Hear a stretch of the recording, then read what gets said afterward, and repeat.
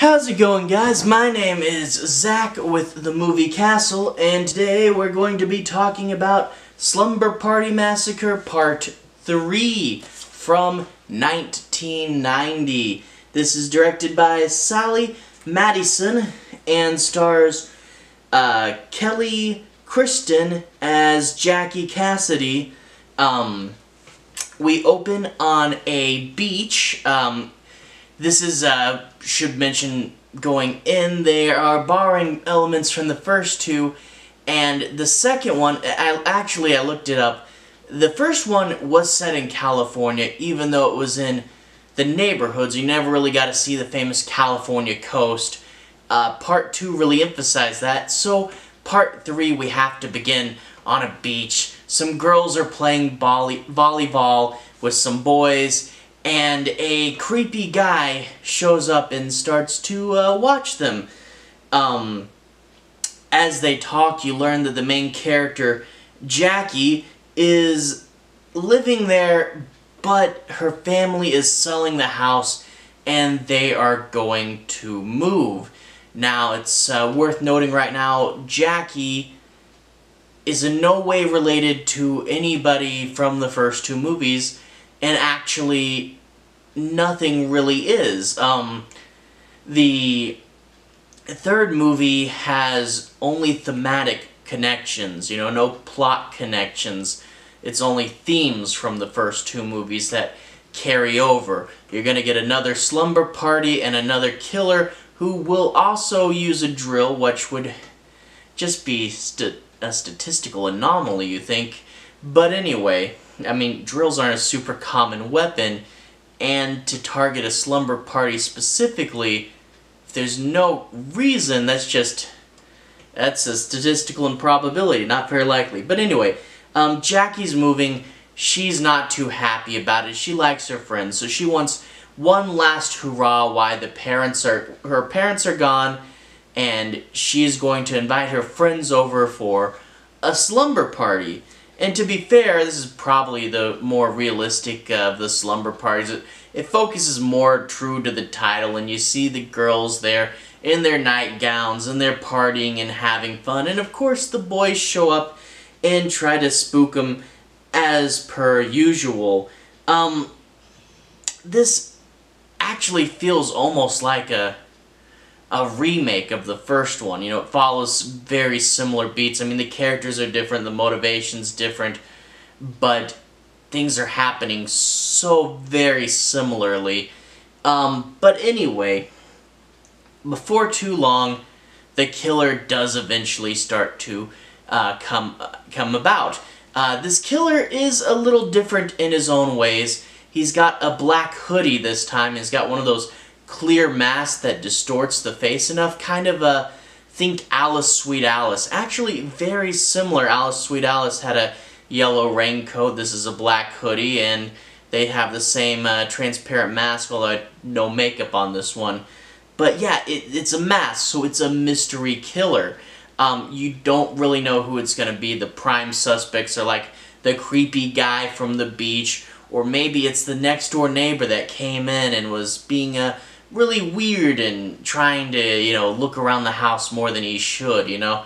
So, you have some prime suspects, but there is a mystery uh, this time around, and they actually do, towards the tail end of this film, talk about the character's motivations. Is this dark motivation that, you know, it kind of looks like, you know, like if you ever, in Black Christmas, listen to what Billy's saying, you know, you kind of start to, you know, see the, the grungy, like, pre-Halloween slashers were kind of like true crime deal, you know, and it does kind of remind you of that, where you see this guy in a broken psychological state.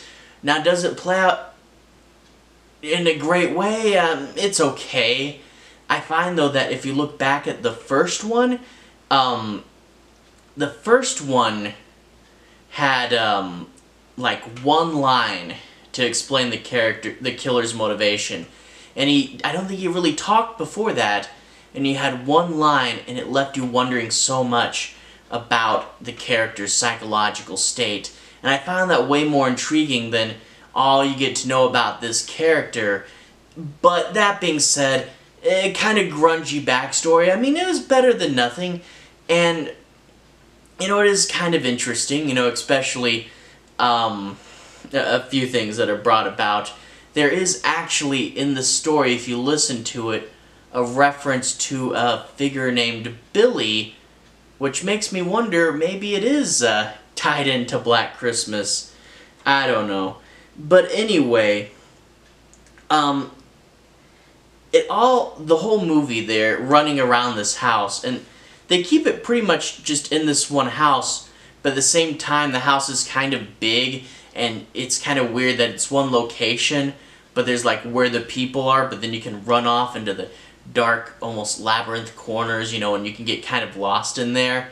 Um, so yeah, it, it, does, it has a few cool kills, and um, there there's moments to know about it, but that being said, there are also some uh, some messy parts with some, you know, dumb decisions. Uh, primarily, there was uh, a death later on that uh, was originally much shorter, uh, but Roger Corman, the producer, demanded it to be extended, and you know they put in where the killer, you know, does a little bit more torture before uh, just killing the victim, but then in turn it kind of makes uh, the other girls look like they're just not helping their friend.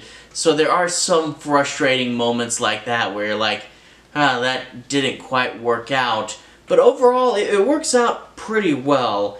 Um, the thing is, the first one is a classic slasher. It knows what it is, and it works to its strength. You know, it's a nice, tight, well put together slasher.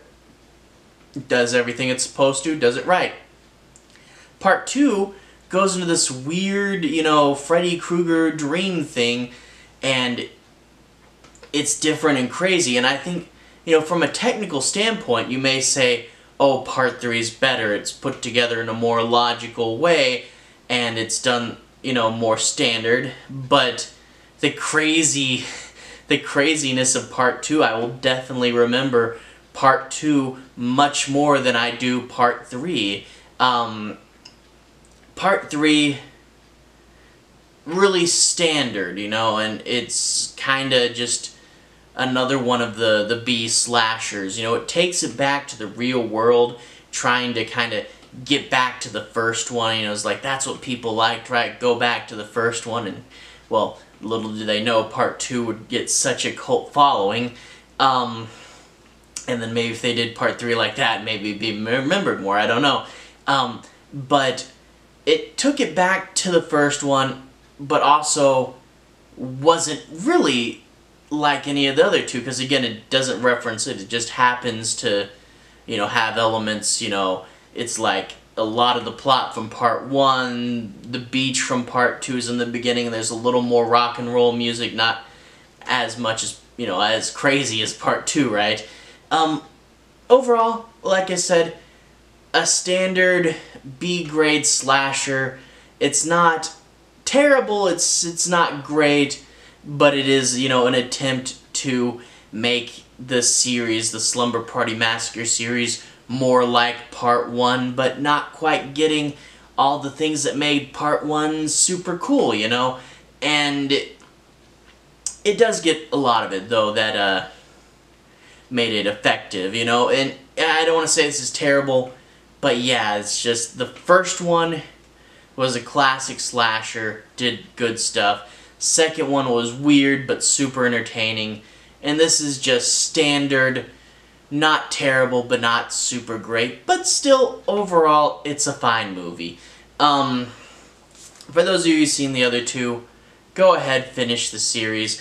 A little bit of a mystery element and more of a backstory, that's, that's something, and that's interesting enough. Uh, the weakest of the series, but if you're a slasher fan, go ahead and watch it. It's, it's fine and it's short. So, you know, good way to spend an afternoon if you really like slasher movies, but this isn't to win over the people that don't. But if you like slasher movies, good watch. Not not great, but good.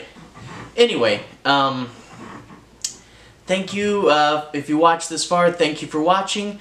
I do primarily horror on this channel, I like to say about 95% horror. So I'll be back soon with more horror. Uh, to everyone who's liked and subscribed, thank you for watching. You guys really help the channel out. Anyway, I'll see you guys again soon. Have a good day.